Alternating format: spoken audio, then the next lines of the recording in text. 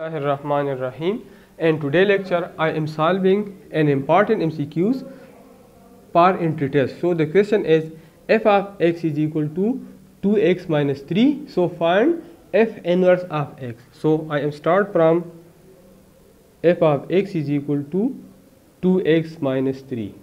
This is equation number first. As we know that y is equal to f of x or x is equal to f inverse of y. So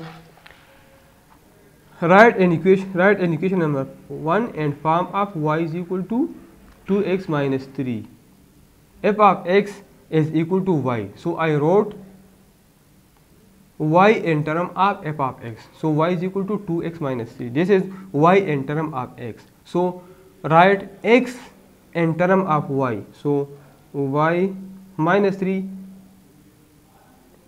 plus 3 is equal to 2x. Divide both sides by 2.